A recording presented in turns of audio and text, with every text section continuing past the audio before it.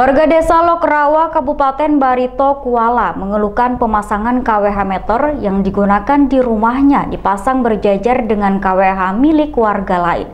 Pemasangan kabel listriknya juga semraut, dinilai rawan terjadinya kebakaran.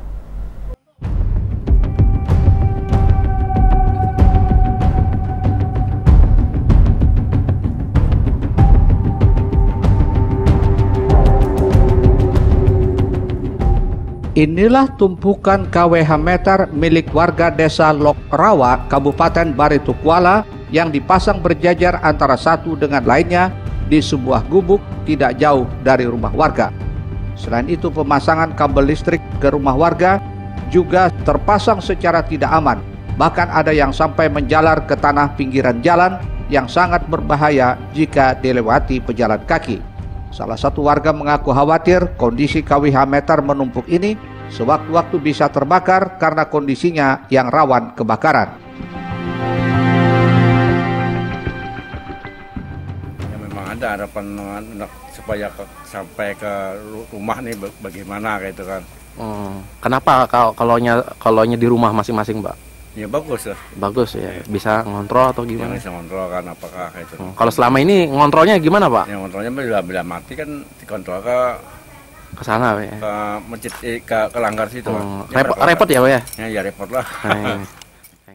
Harapannya supaya kan kalau habis anu kan ndak pada mendatangi ke sini lagi. Ya? Ke, ke, ke jauh tuh. Hmm. kan jauh istilahnya tak.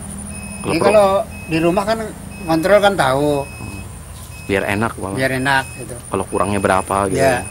jadi selama ini kalau mau habis lihat ke sini pak ya lihat sini kan saat dikonfirmasi tim Banjar TV kepada Kepala PT PLN Rayon Marabahan, Purwanto menyatakan pemasangan KWH meter menumpuk di satu tempat ini dulunya dikarenakan untuk menormalkan KWH meter yang dipergunakan serta memaksimalkan penggunaan listrik di rumah pelanggan. Ke depannya, pihak PT PLN Rayon Marabahan akan membenahi KWH meter tersebut agar bisa dipasang di masing-masing rumah. Namun hal ini masih menunggu realisasi dari PT PLN area Banjarmasin dan koordinasi Komisi 3 DPRD Barito Kuala. Kalau realisasi pembenahannya kapan Pak? Kalau boleh tahu? Kita belum bisa memastikan karena perlu material banyak itu.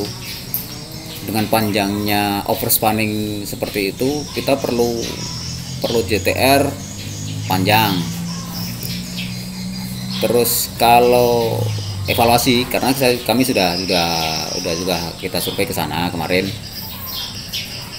perlu JTM ya karena kalau tiang listriknya pak kayaknya tidak ada juga pak itu pak. Iya makanya kita kita usulin untuk perluasan jaringan hmm. baik jaringan tegangan menengah nanti kita pasang perahu ya yang lebih lebih dekat karena jaringan itu adalah JTR ujung jaringan tegangan ujung. Berarti nanti akan dilakukan pembenahan tetap ya? Tetap kita lakukan pembenahan. Purwanto menambahkan untuk overspanning yang terjadi pada KWH meter tersebut, pihaknya akan melakukan evaluasi kembali sesuai dengan sertifikasi layak operasi. Jika melanggar, maka akan dilakukan penindakan sesuai Undang-Undang Nomor 30 Pasal 51 Ayat 3 Tahun 2009 tentang pencurian listrik. Erwin Yudanwari, Banjar TV.